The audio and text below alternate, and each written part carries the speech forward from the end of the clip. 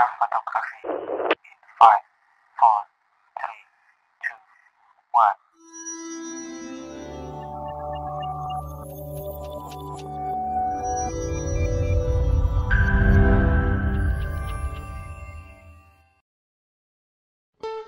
1. Color grading adalah digunakan untuk memunculkan apa yang kita inginkan, baik visual, efek, ataupun ambience, ya ambience yang kalian inginkan pada film tersebut. Artinya apa? Tidak semua foto atau video yang kalian produksi digunakan color grading.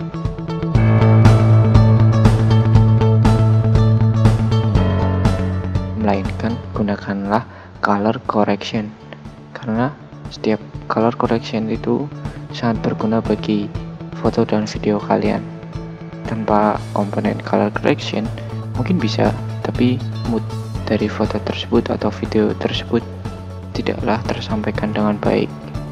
Itu sedikit tips dari saya. Salam jebret. Share like and subscribe